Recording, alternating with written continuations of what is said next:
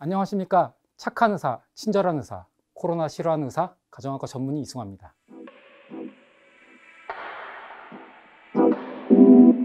대중교통이라 하면 이제 뭐 고속버스나 뭐 버스가 있겠고 아니면 뭐 지하철도 있겠고 뭐 기차도 있겠고 이제 비행기가 있을 텐데 여기에 특성이 있습니다. 일단은 보통은 대중교통으로 갈 정도면 우리 뭐 15분 거리를 대중교통으로 가지는 않잖아요. 그러면 이제 대부분은 이제 좀 먼 거리를 가는데 밀폐된 공간 속에서 그리고 우리가 누군가를 모를 때 우리가 불안감이 큰데 우리가 뭐 자동차로 가면 뭐 우리 가족이나 뭐 지인분 아니면 지금 촬영 감독님만 해도 뭐 지금 저랑 같은 공간에 있지만 이제 별로 부담이 안 돼요. 저분이 코로나에 걸리지는 않았을 거라는 그런 게 있기 때문에 그 정도. 근데 불특정 다수가 있는 데는 불안감이 있잖아요. 그러니까 아무래도 그것은 마치 영화관이나 뭐 스포츠 경기장이 요즘에 이제 관중수, 관객수가 급감한 것처럼 어, 그거랑 이제 비슷한 원리라고 볼 수 있겠죠.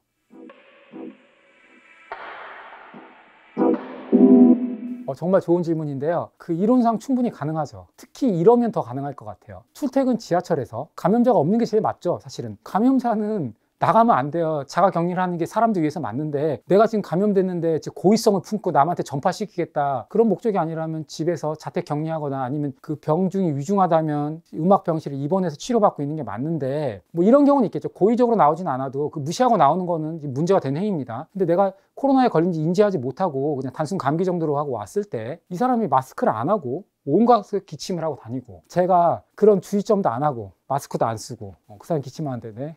이렇게 가까이 대고 있으면 당연히 거리량이 높아질 텐데 그러니까 정답부터 얘기하면 출퇴근 지하철에서 감염될 수 있죠. 근데 역으로 따지면 프로텍션을 좀 철저하게 하면 감염되지 않을 수도 있기 때문에 지금 현 단계에서 감염이 무서워서 무조건 차로 다녀야 되냐? 그럼 또 대중교통 체증이나 여러 가지가 발생할 테니까 그거는 그거대로 문제일 테니까 결론적으로 얘기하면 감염의 위험성은 늘 존재한다. 그러나 적절한 프로텍션을 하면 그 위험도를 낮출 수 있고 호흡기 증상이 있는 경우에는 다른 사람을 위해서라도 아니 본인을 위해서라도 왜냐 그런 호흡기 증상이 있는 사람이 여러 가지 이중 감염, 삼중 감염이 되면 실제로 신종 코로나 그 바이러스에 감염이 된 상태에서 인플루엔자도 걸리고 세균성 폐렴도 걸리면 그 사람이 더 위험하니까 나를 위해서 다른 사람을 위해서라도 이렇게 대중교통 이용을 자제하는 게 맞고요. 본인이 또 몸이 좀 지금 약하다, 면역력이 내가 저하됐다 느끼면 피하는 게 맞겠죠.